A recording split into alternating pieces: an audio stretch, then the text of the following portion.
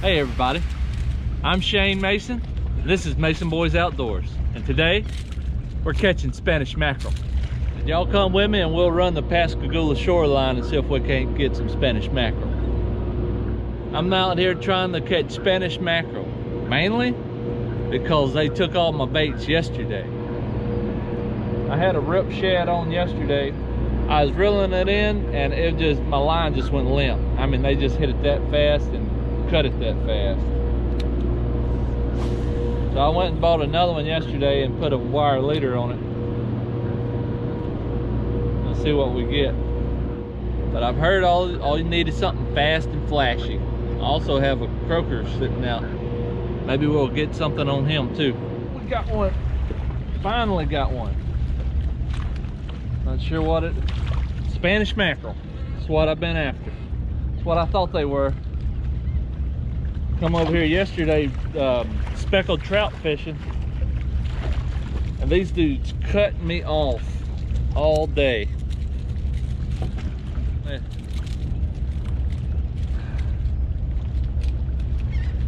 And one thing about Spanish mackerel is they're really bloody. So you want to cut right between their gills that'll bleed them you do that you throw them right in the cooler and it'll bleed out get all the blood out of the meat and such as that and um, it'll stay nice and fresh. We managed to get one. I was, guess that's all right for the first time I ever went Spanish mackerel fishing in my life. We're about to go up to the house and clean and cook this rascal and see how they taste. Well guys, we got a situation. Yesterday I put my boat in and then I just drove it to the house last night and parked it and left my truck at the boat ramp. Well, I come fishing again this morning, but I don't have my truck keys. And I don't have enough gas to get back to the house. So I'm gonna so I'm gonna sit here and fish in Yazoo Lake for flounder until Chastity brings me my truck keys. What I'll be using is a green sparkle beetle about a 1 8 jig head. You want to fish them super duper slow. So you just throw it out there, let it sink all the way to the bottom and just bump it, bump, and then just let it sit. And if you feel any resistance, set the hook. I think I got a flounder. He's something. Yes, got a flounder. Come on, buddy. Come on, buddy. Oh, he's a good one. All right.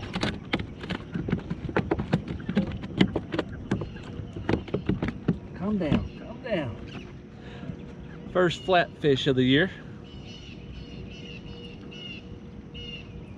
Love eating these things. They have to be 12 inches. This one's much more than that, so he's going in the box way I caught him, I just caught him on a sparkle beetle like I caught the trout yesterday. But with flounder, the trick is you gotta move it really, really slow. One bump at a time and let it sit for like at least three seconds between bumps. Hey guys, we're back here at the house. I'm gonna make this cleaning part super quick because I got people working on their houses on both sides of me. But there's one little thing you wanna be sure and do when you clean Spanish mackerel and I'll show you what it is in just a second. And you want to fillet them just like any other fish, except you want to leave the skin on. So you want to cut way up into the head meat, get down to the uh, rib bones, and just come straight down his backbone.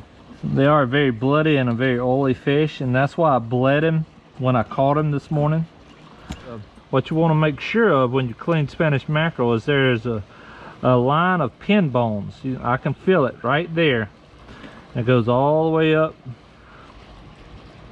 And you just cut down one side of them and cut down the other side of them.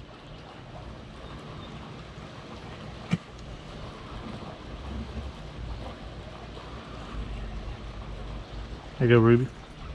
All right, we're here on the back porch and we're gonna grill this Spanish mackerel.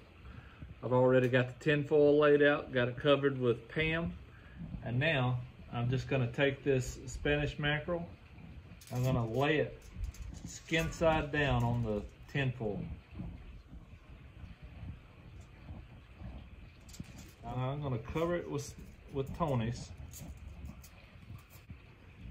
If y'all have a good Spanish mackerel recipe, please let me know. So I just covered the Spanish mackerel with Tony seasoning. And now we're gonna put some Worcestershire on it. And I'm not gonna put a whole lot on it, just a little dribble dribble.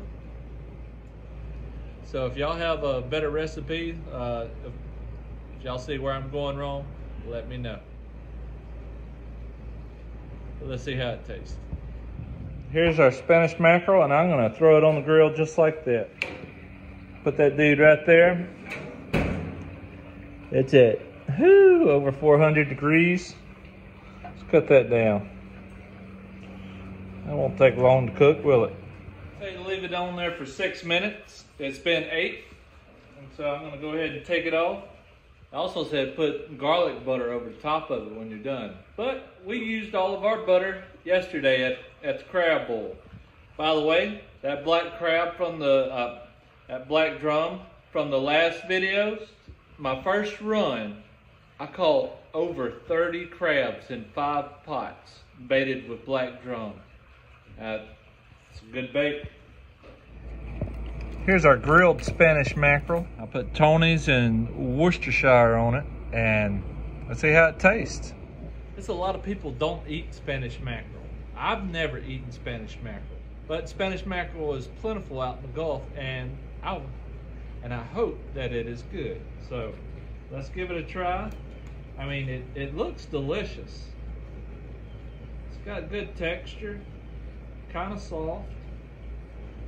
But I just covered it with Tony's and and uh, Worcestershire sauce.